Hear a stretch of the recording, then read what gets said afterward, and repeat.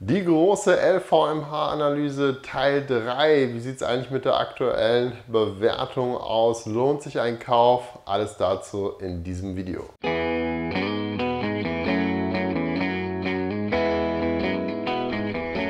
Ja, damit herzlich willkommen zu Christophs Aktienkurs. Erst in finanzielle Bildung investieren und dann in Aktien. Und heute Teil 3, der letzte Teil der LVMH ja, Videoserie und wir beschäftigen uns heute unter anderem schwerpunktmäßig natürlich mit der Aktienbewertung, nachdem wir uns in den ersten beiden Videos wirklich ja, schwerpunktmäßig mit dem Unternehmen an sich beschäftigt haben. Und ich blende euch hier zunächst mal ein, wie hatten, haben sich denn eigentlich, wie hat sich denn eigentlich der Gewinn je Aktie und auch die wesentlichen Cashflow-Zahlen, wie haben die sich eigentlich in den letzten ja, zehn Jahren entwickelt und wir sehen, dass äh, EPS, also die Earnings per Share, sind äh, in dem Zeitraum durchschnittlich um ja, knapp 15 Prozent gewachsen. Der operative Cashflow ein bisschen geringer, so bei 12, 13 Prozent und auch der Free Cashflow ist entsprechend um immerhin noch 10 Prozent gewachsen jedes Jahr. Also das sind grundsätzlich natürlich erstmal Zahlen, die erstmal überzeugen können, wenn es also ein Unternehmen im Schnitt schafft, die, äh, den Gewinn der Aktie im Jahr um 15 Prozent zu steigern, dann ist das natürlich schon sehr, sehr ordentlich. Das heißt, das ist erstmal so die eine Größe, also was ist eigentlich unternehmensseitig passiert. Und jetzt schauen wir uns im nächsten, in den nächsten Charts eben mal an, wie ist denn die Aktien, wie war denn die Aktienperformance eigentlich in diesem Zeitraum? Und dafür habe ich euch zunächst mal einen kleinen Chart vorbereitet mit den Kursgewinnen und da seht ihr im Prinzip vom Anfang 2009 ja, bis Dezember 2018 haben wir nur allein durch die Kurssteigerung, also jetzt ohne Betrachtung von Steuern oder irgendwelchen sonstigen Themen, haben wir 515% Rendite oder hätten wir 515% Rendite erzielt.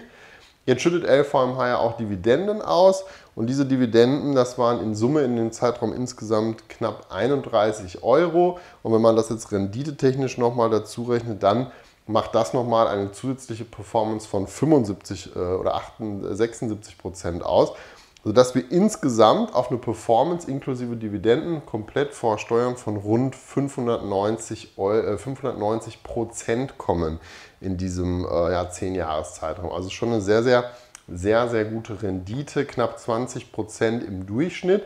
Und man sieht auch schon, wir haben gerade gesehen, die, der Gewinn je Aktie äh, ist im Schnitt so um 15 Prozent gestiegen im Zeitraum. jetzt die Aktienperformance war so bei 20 Prozent. Liegt letztendlich daran, dass 2009 die Aktie tendenziell etwas oder ja deutlich günstiger bewertet war als jetzt zum aktuellen Niveau. Somit ist natürlich ein Teil der ähm, höheren Rendite gegenüber der, der Gewinnentwicklung, gegenüber der operativen Entwicklung eben auch einfach mit einem höheren Bewertungsniveau zu erklären, kommen wir aber gleich nochmal näher zu.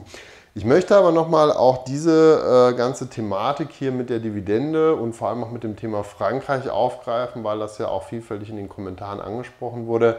Ja, Frankreich, Quellensteuer 30 Prozent, das ist natürlich eine äh, relativ hohe Quellensteuer. Aber wenn man sich mal äh, im Prinzip nochmal klar macht, dass eigentlich nur rund 13 Prozent der Gesamtperformance durch die, durch die Dividende äh, passiert ist und der überwiegende Großteil durch die entsprechenden Kurssteigerungen, dann würde ich sagen, ist es fast ein bisschen egal, ob jetzt die Quellensteuerregelung jetzt spitzenmäßig ist oder irgendwie in Frankreich eben nicht so toll ist, wo man sich dann auch nicht ganz so viel anrechnen lassen kann.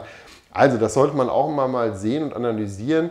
Wenn man natürlich jetzt ein reiner Dividendeninvestor ist, eine reine Dividendenstrategie fährt, dann kann das natürlich schon ein Argument dagegen sein. Aber grundsätzlich muss man schon sagen, ist das Thema Quellensteuer in Frankreich hier meines Erachtens nach ja schon ein bisschen zu vernachlässigen. Es ist meines Erachtens nach kein Ausschlusskriterium für ein Investment in diese Aktie erstmal grundsätzlich. So, schauen wir uns im nächsten Chart mal an, wie haben sich denn Kurs-Gewinn-Verhältnis und ähm, Kurs-Cashflow-Verhältnis in den letzten zehn Jahren entwickelt, beziehungsweise was sind so die Durchschnittswerte, die Mittelwerte, Kurs-Gewinn-Verhältnis bei gut 2021 und Kurs-Cashflow-Verhältnis bei rund 16. Wie sieht es jetzt aus mit den erwarteten Kurs-Cashflow-Verhältnissen? Ja, das äh, Kurs-Cashflow-Verhältnis 2019 wird so bei 22 eingeschätzt und ähm, die Price-Earnings-to-Growth-Ratio bei 3,6. Wenn man sich jetzt mal anschaut bei ähm, den Trailing 12 Months, also in den letzten 12 Monaten, aktuelles Bewertungsniveau KGV ungefähr bei 26, dann ist das natürlich schon um einiges mehr als der historische Durchschnitt der letzten 10 Jahre und auch beim äh, Kurs-Cashflow-Verhältnis ist das etwas mehr. Von daher kann man jetzt nicht sagen, dass die Aktie günstig äh, bewertet ist. Naja, ob sie jetzt fair bewertet ist oder vielleicht ein bisschen überbewertet ist, das ist natürlich dann irgendwo immer auch schwer zu sagen. Aber zumindest kann man mal festhalten, die Aktie ist aktuell kein Schnäppchen. Sie war vor einigen Monaten noch rund 50 Euro günstiger. Das wäre vielleicht noch ein schöner Einstiegszeitpunkt äh, gewesen. Aber ja, schwierig, schwierig. Vor allem, wenn man sich jetzt mal anschaut, wie ist denn der Ausblick oder was sind denn eigentlich die unternehmenseigenen Ziele von LVMH und da findet man tatsächlich keine wirklich konkreten Zahlen, wirklich keine konkreten Angaben, sondern eigentlich nur in der Pressemitteilung zur Veröffentlichung der Zahlen. Ja, die sind cautiously confident for 2019. Also im Wesentlichen wird nochmal betont, ja, wir sind weiter auf einem guten Weg des Wachstums. Es wird nochmal betont, alle Segmente sind äh, entsprechend positiv, was das Wachstum angeht. Es wird auch weiterhin erwartet, die Strategie wird weiterhin erfolgreich umgesetzt. Und ähm, ja, LVMH kann eben mit dem Wertesystem und so weiter dann hier auch äh, anscheinend dann weiter gut performen. Aber man geht jetzt hier nicht auf irgendwelche konkreten Zahlen, er nennt keine konkreten Ziele. Von daher hat man eigentlich auch als Aktionär gar keine andere Möglichkeit als eben ja, sich mal die Vergangenheit anzuschauen und eben dann darauf zu schließen, dass es vielleicht ungefähr so weitergehen könnte. Also, was ist nochmal das große gesamte Fazit zur LVMH? Wenn man in Luxusgüter investieren will und äh, das als einen Bestandteil seines Portfolios aufbauen will, kommt man meines Erachtens nach dem LVMH als dem Player schlechthin in dem Markt nicht drum herum. Ist der größte Hersteller, breit diversifiziertes Produktportfolio.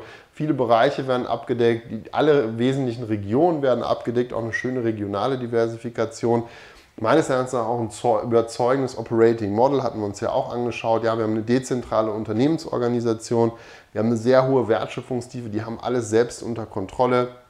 Know-how-Sicherung, da wird viel für getan. Also das ist auf jeden Fall positiv. Meines Erachtens nach auch überzeugende und glaubwürdige Unternehmenswerte. Also, dass man eben sagt, wir wollen exzellente Produkte, Services und Kundenerfahrungen sicherstellen, Kreativität und Innovation fördern und eben auch so ein bisschen ja, diesen dieses Entrepreneurship-Kultur äh, eben aufrechterhalten und äh, voranbringen. Ich glaube, das sind auf jeden Fall für so einen Konzern in so einer Branche, die ja auch vielen Änderungen unterliegt, glaube ich, die richtigen Werte. Meistens auch starkes Management, ja, mit jahrzehntelanger Erfahrung, Unternehmensnachfolge wird sukzessive vorbereitet, hatten wir uns auch angeschaut. Wir haben hohe, stabile Free Cashflows, wir haben auch eine starke Bilanz mit den entsprechenden Einschränkungen, die wir uns auch in dem Video mal angeschaut hatten. Das aktuelle Bewertungsniveau liegt, äh, wie gesagt, aktuell ja, etwas über den historischen äh, Mittelwerten. Das heißt, man muss jetzt nicht unbedingt äh, einsteigen. Man muss auch noch eins sagen, Frankreich erhebt neben der, ja, fieses Frankreich erhebt neben der, den 30% Quellensteuer auch noch eine tatsächlich eine Transaktions-, Finanztransaktionssteuer. Ähm, und zwar immer dann, wenn ihr kauft, werden vom Kurswert nochmal 0,3% fällig, die dann an den französischen Staat gehen. Das Ganze sollte man eben nur im Hintergrund haben, wenn man eben überlegt, über einen Sparplan äh, das Ganze zu kaufen, dann würde natürlich auch pro ausgeführtem Sparplan, wenn man das jetzt monatlich macht, im Prinzip nochmal immer wieder 0,3% Finanztransaktionssteuer fällig werden.